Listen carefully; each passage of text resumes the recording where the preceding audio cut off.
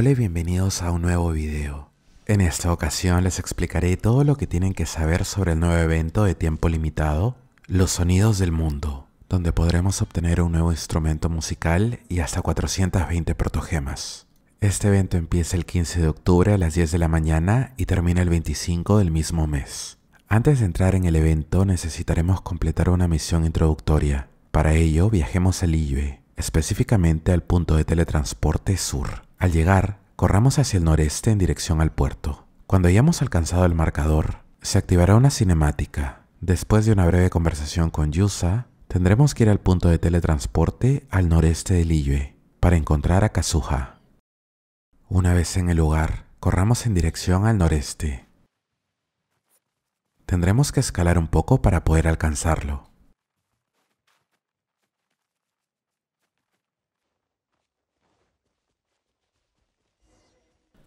Hablemos con él y nos pedirá tres lirios de cristal, los cuales se pueden encontrar fácilmente en la ciudad de Liyue si es que no los tienen.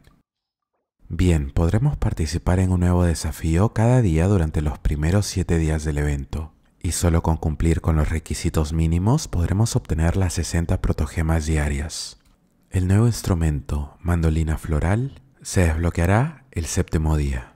Existen tres dificultades en total, normal, difícil y experto. Y recibiremos una calificación de acuerdo a los puntos que obtengamos, las cuales se dividen en cuatro. De menor a mayor tenemos leyero, eufonía, dulcem y discantus. Bien, completemos el desafío del día 1. Hagamos clic en tocar y vayamos al lugar indicado en el mapa. Interactuemos con la luz para empezar el desafío. El modo normal estará desbloqueado por defecto y necesitaremos conseguir como mínimo el rango Eufonía para desbloquear la siguiente dificultad. Si no tienen experiencia en este tipo de juego, les explicaré la mecánica a continuación. Durante el desafío aparecerán aros en la pantalla, al lado de una tecla o botón. Además, veremos círculos amarillos que empezarán a cerrarse hasta coincidir con el aro. Tenemos que calcular y presionar la tecla o botón cuando el círculo encaje perfectamente con el aro. En computadora es posible utilizar el mouse para cumplir esta función. Además, de vez en cuando veremos una estela que va cayendo en dirección a uno de los aros. Cuando la primera parte de la estela encaje con el aro, presionemos la tecla o botón y mantengámoslo pulsado. Cuando la parte final de la estela encaje perfectamente, liberamos la tecla o botón.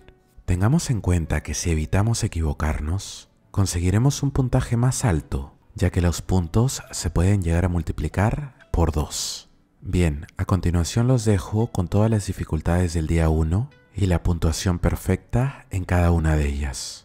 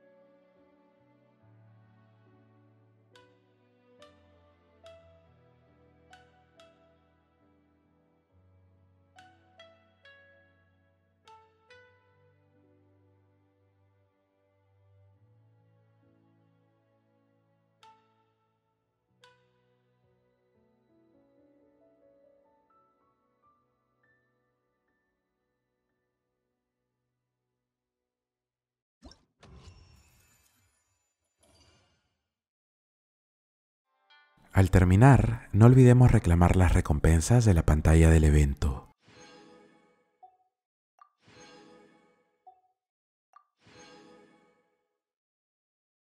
Bien, y así hemos llegado al final de este video. Espero que les haya sido de utilidad. De ser así, recuerden hacer clic en me gusta y compartir. Si son nuevos, suscríbanse y activen la campanita para ver más videos como este. Gracias por todo el apoyo, nos vemos en la próxima entrega. Un abrazo. Chao.